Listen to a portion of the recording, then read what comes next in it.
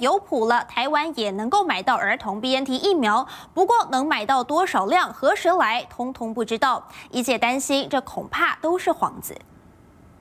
台湾采购 BNT 儿童疫苗，陈时中前一天才说大卡关，因为疫苗由美国辉瑞制造，台湾无法直接购买，而 BNT 又委托给上海复兴，和我国卫福部形成四方谈判，但不到一天，原本说不敢期望的陈时中却大转弯。最后的细节再把它弄清楚之后，应该是可以来签约，还有一些文字上的问做最后的修订。但部长口中的 BNT 到底买到多少剂量，什么时候能来台湾，政府全都没提，一界担心是骗局。BNT 疫苗要合约快要签了，这全部都是幌子。你如果是快要签了，你干嘛现在推这个莫德纳疫苗？你差那个签字的话，你就推 BNT 就好了嘛。但怪的是，亚洲各国像是日本、南韩、以色列都能买到 BNT 给幼童施打，为何我国政府就是买不到？他们不愁中啊，就这么简单啊！全世界仇中的只有台湾啊，当然买得到。卡在民进党的面子而已。我们到今年一月多才开始洽谈，这你不是去年就应该要洽谈的事情吗？你举出了一大堆理由，请问一下，你到底是想买还是不想买？钱大使更酸，为何政府有钱买高端，买 BNT 却遥遥无期？因为发挥当时啊对高端的那种精神跟态度，可以花八百多块钱一剂，